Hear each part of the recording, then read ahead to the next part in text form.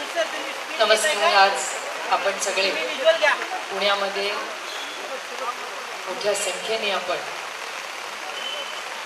या आंदोलनात आणि या सरकारचा जाहीर निषेध करण्यासाठी जमलेलो आहोत. आपल्याला सगळ्यांना पूज्य असे भारतरत्न डॉक्टर बाबासाहेब आंबेडकर ज्यांनी आपल्याला मूलभूत अधिकार आणि एक संविधान दिलं. आणि आज संविधानात प्रत्येक नागरिकाला समान अधिकार आहे. आणि न्याय हा प्रत्येकासाठी समान असला पाहिजे हा विचार त्यांनी इथे मांडला.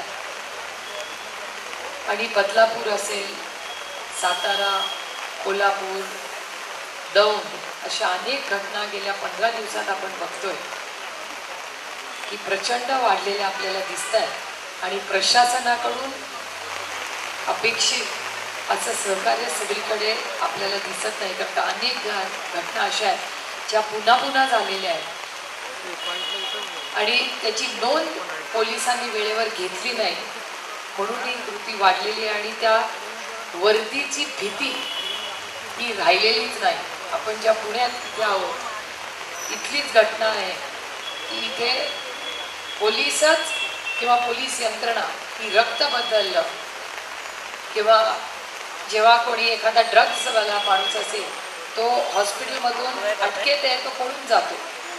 त्यानंतर अशा अनेक घटना पुण्यामध्ये कोयता गँग असेल अशा अनेक दुर्दैवी घटना सातत्याने आपल्या राज्यात आणि पुण्यात होत आहेत. त्या प्रशासनाचा मी जाहीर निषेध करते. आणि एक महत्त्वाची गोष्ट आहे की हे सरकार किती असंवेदनशील आहे बघा. आंदोलन जेव्हा बदलापूरला झालं तिथल्या सत्तेमधल्या लोकांनी असंच भाष्य केलं की बदलापूरला आलेले लोक सगळे बाहेरचे होते. माझं म्हणणं आहे कुठले का असू दे ना ते भारतीय होते आणि भारतीय लेखीसाठी तिथे लढत होते. याची नोंद या सरकारने घेतली पाहिजे. अतिशय असंवेदनशील सरकार आहे. आणि शेवटी सत्य बाहेर आलंच. दोन दिवसांनी ह्याच चॅनलवाल्यांनी आपल्याला सांगितलं की तिथला कोणीही बाहेरचा नव्हता. ती बदलापूरची सामान्य मायबाप जनता होती जी लेखीसाठी लढत होती. म्हणजे ह्याच्यातही म्हणजे ह्याच्यातूनच त्या सरकारची विचारधारा काय आहे किंवा कसा हा विचार करतात हे उघडं झालेलं आहे. त्यातून माननीय मुख्यमंत्र्यांनी एक स्टेटमेंट केलं की एक बलात्कार झाला पुणे जिल्ह्यात आणि दोन महिन्यातच आम्ही त्या नराधामाला आम्ही फाशी दिली. अशी जर कृती झाली असेल तर आपण सगळे जाहीरपणे मुख्यमंत्र्यांचा सत्कार करायला जाऊ जर ह्याच्यात सत्य असेल. त्यामुळे प्रत्येक गोष्टी गलिच्छ राजकारण आणायचं. आणि इतकं असंवेदनशील सरकार आजपर्यंत मी खरंच कधी पाहिलेलं नाही. हा विषय अतिशय गंभीर आहे. आणि अतिशय संवेदनशीलपणे ही फक्त त्यांची लेख नाही आपली लेख आहे. त्यामुळे आपल्या सगळ्या लेखींच्या सुरक्षिततेसाठी जर सरकारला जमत नसेल तर आपण सगळे मिळून जबाबदारी घेऊया. आणि महाविकास आघाडीच्या सगळे मित्रपक्ष आहेत.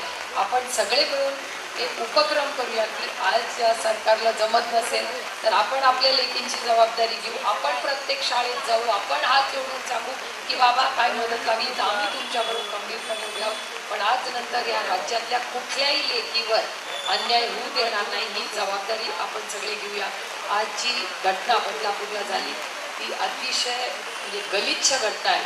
आणि जोपर्यंत या व्यक्तीला फाशी होत नाही तोपर्यंत महाविकास आघाडीचा कुठलाही कार्यकर्ता स्वस्थ बसणार नाही. आपण सगळे एवढा पाऊस असला तरी या संवेदनशील विषयाबद्दल ज्या पोटतिडकीने आपण सगळे आहे मला असं वाटतं आपण सगळ्यांनी सगळं राजकारण बाजूला घेऊन महाराष्ट्राच्या मुलींच्या सुरक्षिततेसाठी कामाला लागूया एवढीच आपल्याला विनंती करते. प्रशांत दादा तुम्ही खूप चांगलं ते नियोजन केलेलं आहे. पण ही फक्त आपल्या आंदोलनाची सुरुवात आहे. कारण आपल्याला गाववाडी वस्तीपर्यंत जाऊन मी काली दौंडला गेले होते तेव्हा ती कृती जवळपास पाच सहा वर्ष चालली होती. कोणी हिंमत केली नाही बाहेर येऊन बोलायची. आत्ता आम्हाला पाच सहा वर्षांनी कळलंय कारण का एका पालकाने हिंमत करून चालली तर आपल्याला फक्त का कुटुंबाला पण हिंमत द्यायची गरज आहे की तुम्ही जर बाहेर आला तर तुमची बदनामी होणार नाही.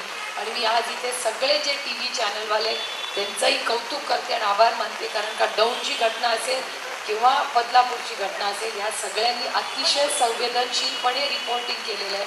ज्या आपल्या लेखी आहेत त्यांच्या कुटुंबाचं नाव किंवा ओळख कुठेही बाहेर आलेली नाही. आणि माझी सगळे कार्यकर्त्यांनाही विनंती राहील की गडबडीने हाऊस व्हिजिट्स करू नका कारण का त्यांची ओळख कधीही बाहेर येता कामा नये. कारण का त्या मुलांना पुढचं आयुष्य जगायचं त्याच्यामुळे त्यांची प्रायव्हसीचा मान सन्मान आपण केला पाहिजे. पंधरा दिवसांनी तुम्ही त्यांच्या घरी गेला तरी चालेल पण काही काही जाऊ नका. कारण का आता त्यांना काउन्सिलिंग वगैरेची मदत आहे. त्याच्यामुळे माझी सगळ्या कार्यकर्त्यांना विनंती आहे की फार मीडियाने फार संवेदनशीलपणे हे विषय मांडलेले आहेत. तीच संवेदनशीलपणा आपणही दाखवावा. आपण इथे आलात आणि या मोठ्या आंदोलनाची ही फक्त सुरुवात आहे.